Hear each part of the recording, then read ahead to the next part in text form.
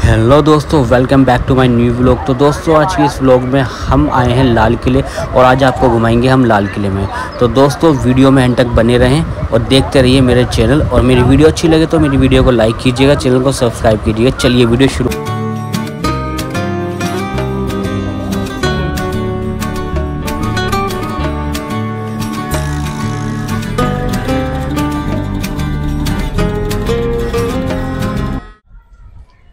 तो दोस्तों, हम जा रहे हैं लाल किले की तरफ़।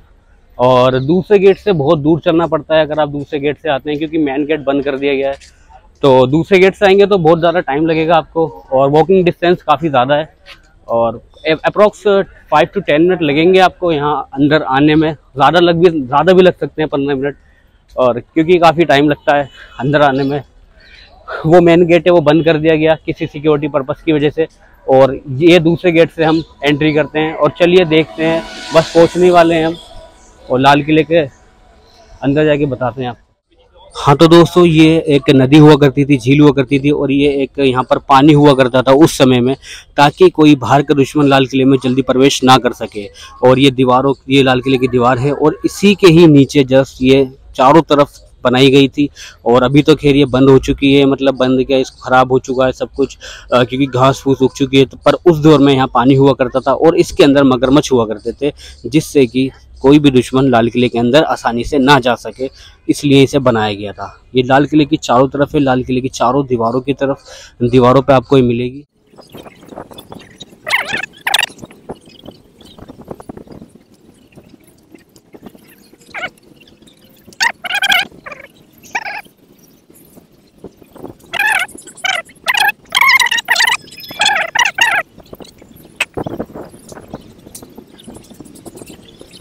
तो दोस्तों पहुँच चुके हैं लाल किले में और जानते हैं लाल किले के अंदर जाके और इसके अंदर बहुत सारी चीज़ें हैं, बहुत सारे महल और भी बने हुए हैं, उनके बारे में जानेंगे। और चलिए वीडियो को शुरू करते हैं और अंदर चलते दोस्तों, लाल किला जब बना, वो बहुत शुभ दिन था, इस्लामी कैलेंडर के हिसाब से, और वो दिन था मुहर्रम का, और सोलह में इसका निर्माण शुरू हुआ, जो कि एक दशक में जाके पूरा हुआ।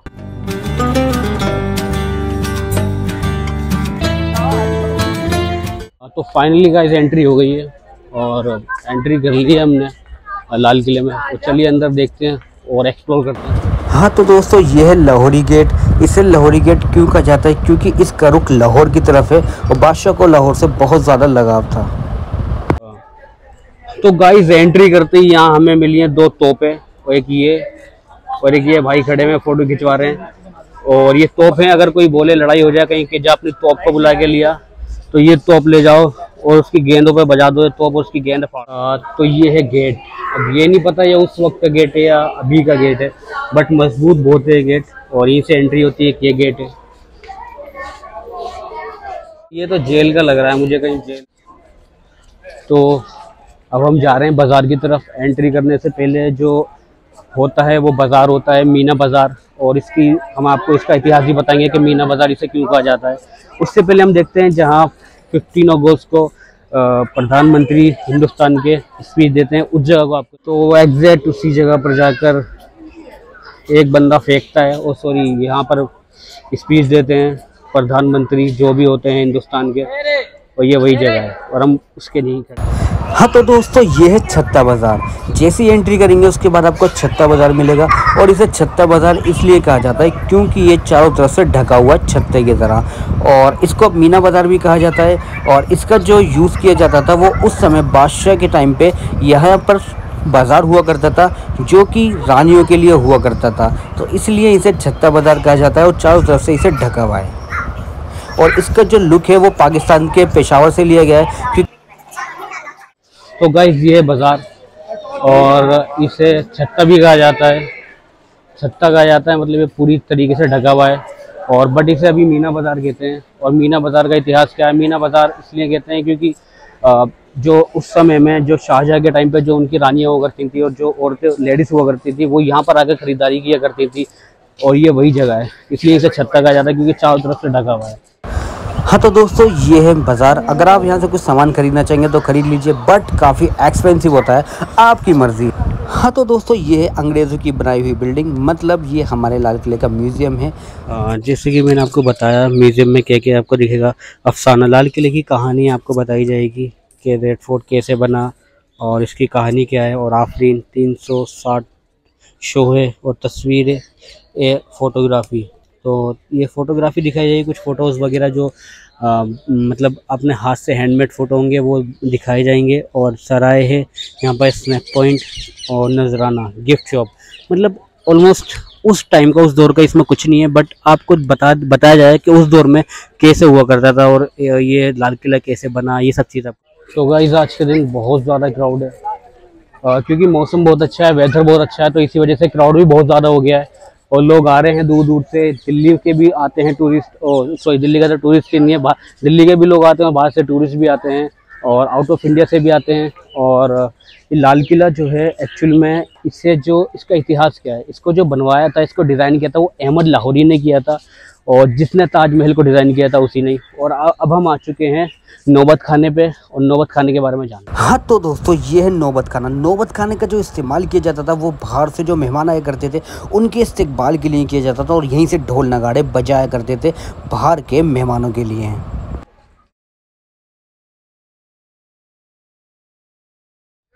तो गाइस अब हम आ गए नौबत खाने पे। ये है नौबत खाना। और इसका बिल्कुल पास है तो अंदर से कुछ इस तरीके का ये बना हुआ है नौबत खाना। देखिए गाइस एक एक चीज़।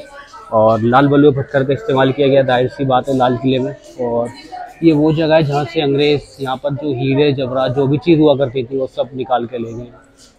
और ये देखा आपने नौबत खाना। अब आगे देखते हैं दीवान। तो दोस्तों, ये है दीवान आम। और चलिए इसके अंदर जाते हैं और इसके बारे में कुछ जानते हैं। हाँ तो दोस्तों, इस वीडियो में मैं बताने वाला था दीवाने आम के बारे में बट अनफॉर्चुनेटली मेरा माइक बंद हो गया और मुझे पता भी नहीं चला और ये सब कब रिकॉर्ड हो गया। और इसमें मैं बता रहा था कुछ ज़्यादा ही फ़नी बात, जैसे कि मेरी गर्लफ्रेंड थी, उसने मुझे धोखा दे दिया और मैंने राजा के पास जाकर शिकायत करी और उसने मुझे शिकायत करने के बाद यहाँ बुलाया दीवाने आम में। तो दोस्तों, आम लोगों का यहाँ फैसला हुआ करता था, इसलिए इसका नाम दीवाने आम है। देखिए कितनी हँसी आ रही है मुकड़े पर वाह यार। तो दोस्तों, ये है दीवान आम। यही बादशाह शाहजहाँ और जो भी उनके बाद बादशाह है वो यही बैठा करते थे। यही वो सिंहासन है उनका, जहाँ पर बैठकर वो दीवान आम में आम लोगों का फैसला सुनाया करते थे। और लोग यही अपनी पेशकश लेकर आते थे, अपनी जो परेशानी होती थी, वो यही लाते थे। यहाँ पर बैठकर बादशाह दीवान आम में उनका फैसला करते थे। और ये देखिए, किस तरीके से, अच्छी तरीके से बना हुआ है। इसकी बनावट भी बहुत खूबसूरत है। और बहुत ज़्यादा खूबसूरत बना हुआ है तो ये है दीवाने खास। चलिए, चल। तो दोस्तों, ये खास महल और ये खास हुआ करता था इसलिए क्योंकि ये बादशाह के अपने निजी पर्सनल तौर पे यूज़ करते थे बादशाही से और इसमें ही बादशाह रहा करते थे और इसके जो गेट जाते हैं, वो दीवाने खास में जाके जाते हैं गेट वो दीवाने खास की तरफ़ जाते हैं। और ये बहुत ख़ास इसलिए हैं क्योंकि बादशाह अपने निजी दौर, निजी ज़िंदगी के लिए यूज़ करते थे और उनकी जो अपनी पर्सनल लाइफ थी, जहाँ वो रहते थे, जहाँ वो ठहरते थे, जहाँ वो खाते पीते थे, वो इसलिए इसे यूज़ किया जाता था, इसलिए इसका नाम खास महल है।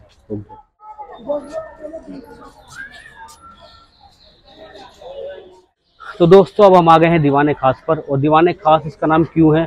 क्योंकि दीवाने खास इसलिए क्योंकि जो खास लोग हुआ करते थे ये उस समय की जबकि पार्लियामेंट है जैसे बादशाह के जो करीबी हुआ करते थे जो खास जो वीवीआईपी लोग हुआ करते थे उनकी अदालत यहाँ बैठा करती थी और बादशाह जो थे वो यहाँ पर फैसला सुनाया करते थे। तो, तो उस समय की वीवीआईपी पार्लियामेंट इसे कहा जा सकता है।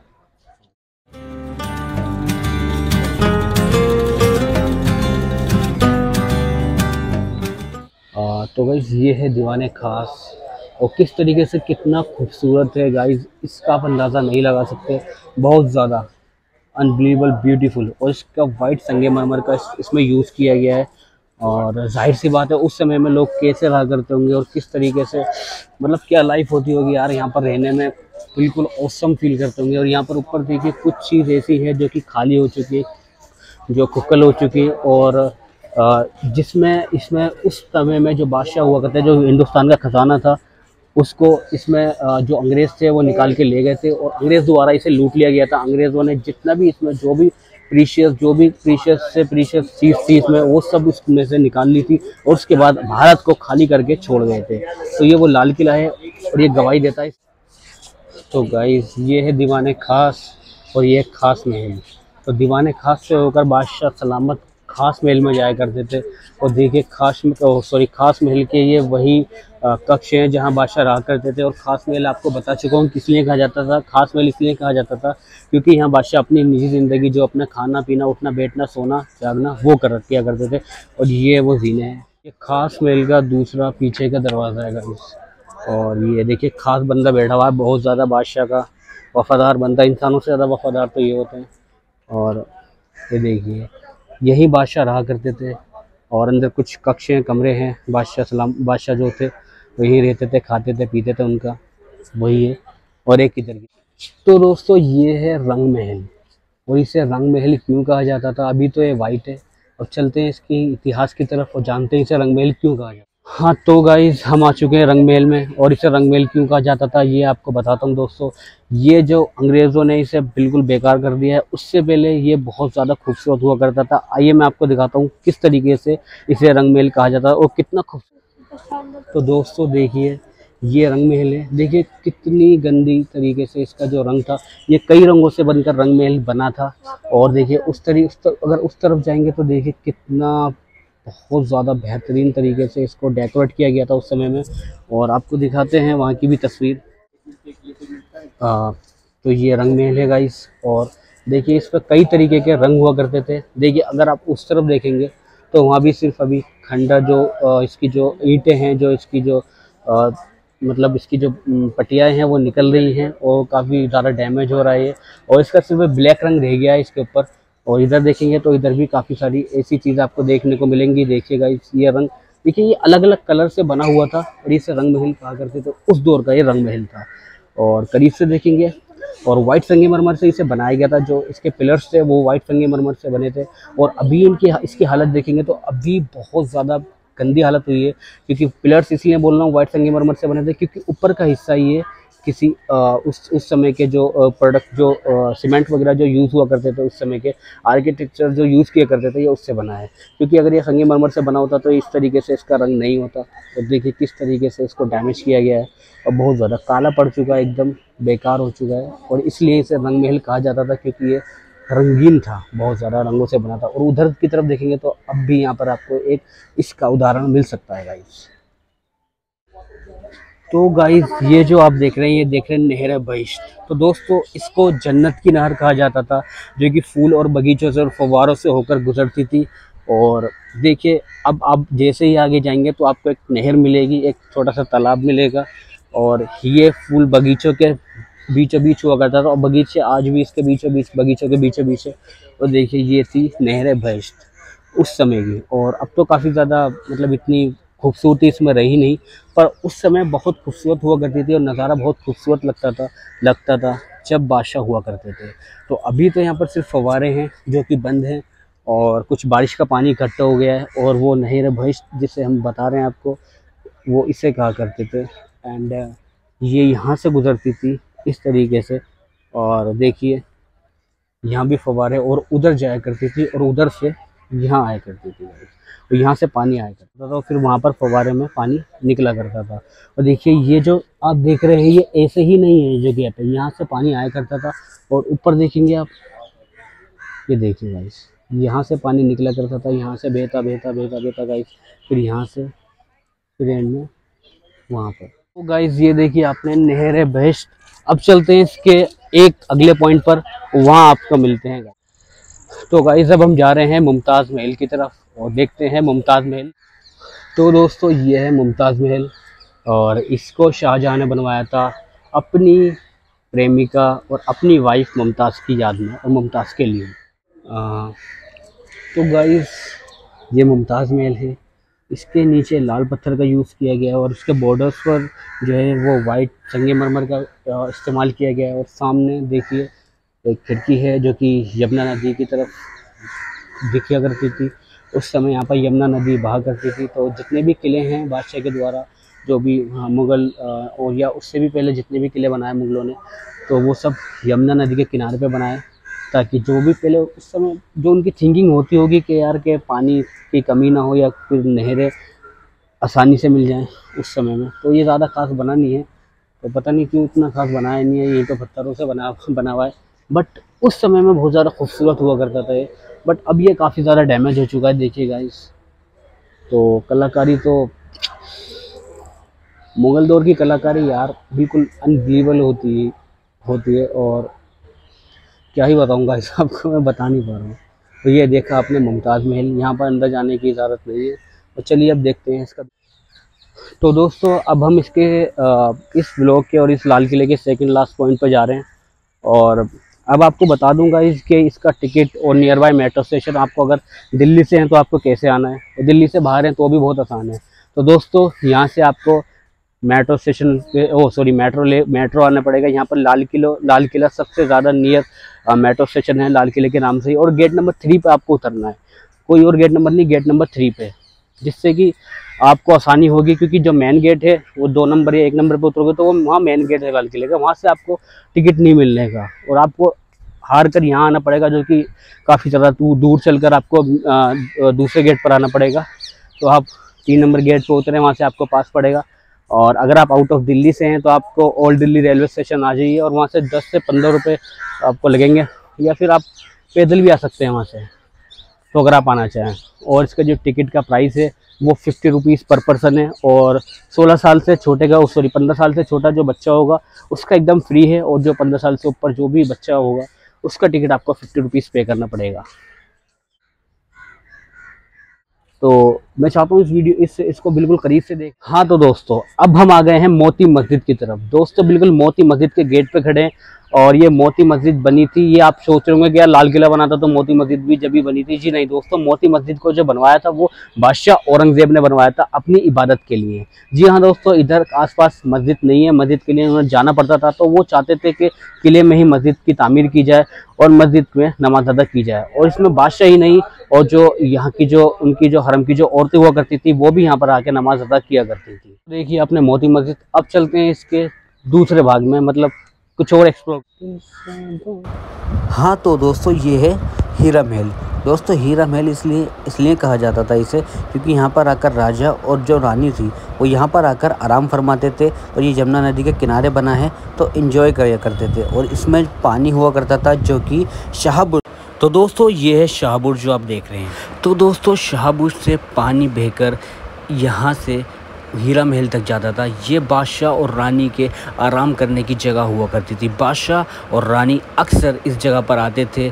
देखिए, जूम करके दिखा रहा हूँ, यहाँ पर नालियाँ बनी हुई हैं जहाँ से पानी बहता है और इस पूरे एरिया में पानी बहा करता था, जो कि उधर हीरा महल की तरफ़ जाया करता था, जो कि यमुना नदी के किनारे पर है और वहाँ से यमुना नदी का पूरा नज़ारा दिखा करता था। तो इसे कहते हैं शाहबुर्ज।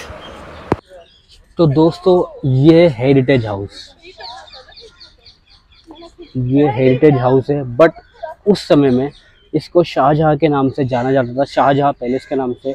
आ, क्योंकि ऐसा माना जाता है कहा जाता है कि यहाँ पर शाहजहाँ की जो रानियाँ और जो उनके बेटे हुआ करते थे वो यहाँ रहा करते थे। और बाद में इसको अंग्रेज़ों ने इससे बदलकर अपने जो है हेरिटेज हाउस बना दिया जो कि जब अंग्रेज़ों का इस किले पर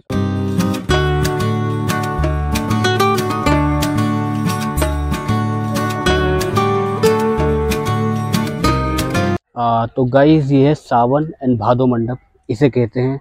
और उस समय अब मैं आपको इसकी पूरी कहानी बताता हूँ इसका पूरा जो लुक है वो आपको दिखाता हूँ।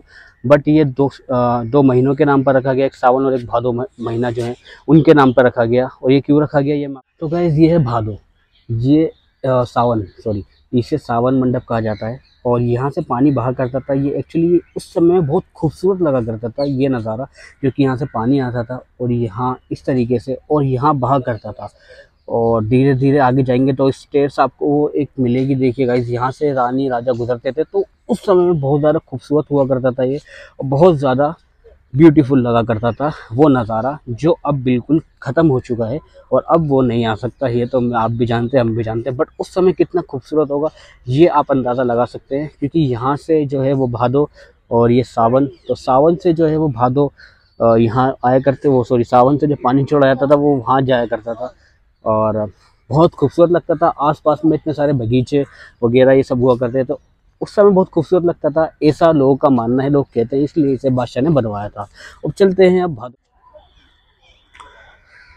तो गाइस ये है जफ़र महल और अब आते हैं गाइस जफ़र महल पे। तो ये है जफ़र महल और इसका नाम बहादुर शाह जफ़र के नाम पर रखा गया था। ऐसा कहा जाता है गाइस कि बहादुर शाह जफ़र ने अपने आखिरी और लास्ट डेज़ यहाँ बिताए। हाँ दोस्तों, अंग्रेज़ों ने बहादुर शाह जफ़र को आखिरी दिनों में यहीं रखा और उन्होंने अपने अंतिम दिन यहीं गुजारे, जो कि मुग़ल बादशाह, मुग़ल दौर के आखिरी बादशाह हुआ करते थे बहादुर शाह जफ़र ये उनका महल है।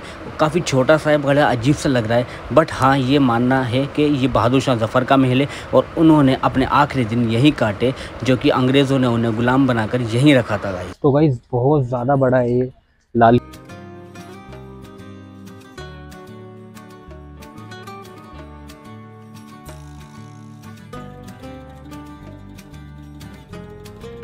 तो दोस्तों ये है भादो मंडल और उधर देखा था हमने सावन। और इधर देख रहे हैं हम भादो। तो दोस्तों, ये दो महीने के नाम पे मैंने आपको बताया, नाम रखा गया था, एक सावन और एक भादो। सावन के महीने में बादशाह उधर रहा करते रहा करते थे भादो में यहाँ पर। और दोनों ही सेम यूज़ के लिए बनाए गए थे और उस टाइम पे बहुत ज़्यादा खूबसूरत हुआ करते थे ये दोनों महल।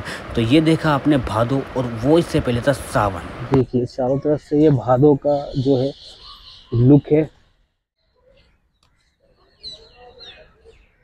तो गाइज़ ये कुछ बिल्डिंग्स हैं जो अब म्यूज़ियम में तब्दील कर दी गई है। ये इधर भी आपको दिखेंगी और काफ़ी जगह आपको दिखेंगी क्योंकि जब आ, इंडिया पर अंग्रेज़ों का राज था मतलब जो ब्रिटिश गवर्नमेंट थी वो उनके जो सैनिक हुआ करते थे, ये उनका मिलिट्री कैंप था। मतलब उनके सैनिक वो यहाँ रहा करते थे, कुछ समय तक उन्होंने यहाँ पर बिताया। तो जब ही उस दौरान ही ये बना हुआ था, क्योंकि इसकी बनावट से आपको साफ़ लगता होगा कि ये ना तो इंडियन आर्किटेक्चर है और ना ये मुगल आर्किटेक्चर है। ये भारत से जो ब्रिटिश सरकार जो ब्रिटिश जो आए थे, उन्होंने ये बिल्डिंग्स बनवाई थी और जब कब्ज़ा हुआ था हिंदुस्तान पर तो ब्रिटिश गवर्नमेंट ने यहाँ पर अपने जो सैनिक थे उनके, वो मिलिट्री के लिए, जो मिलिट्री कैंप था, वो उस दौर का ये मिलिट्री कैंप था गाइस तो गाइज़ ये है म्यूज़ियम जैसे मैंने आपको बताया। और म्यूज़ियम में ना जाने की वजह एक ये भी थी कि यार के गार्ड ने बोला था कि अब आपके पास आधे से एक घंटा है, अगर आप चाहें तो ये से घूम सकते हैं म्यूज़ियम में जा सकते हैं। तो मैंने सोचा म्यूज़ियम में जाने के लिए फ़ायदा नहीं है, क्योंकि म्यूज़ियम का अलग से टिकट लेना पड़ेगा। और म्यूज़ियम में वही चीज़ दिखाई जाएँगी जो उस दौर की कुछ आ, मतलब उस दौर की जो चित्र हैं वो दिखाए जाएँगे और जो भी चीज़ होगी इसके अंदर म्यूज़ियम में वो आपको दिखाई जाएगी। हाँ तो गाइज़ ये देखा आपने लाल किला और लाल किले का ब्लॉग जो मैंने शूट किया।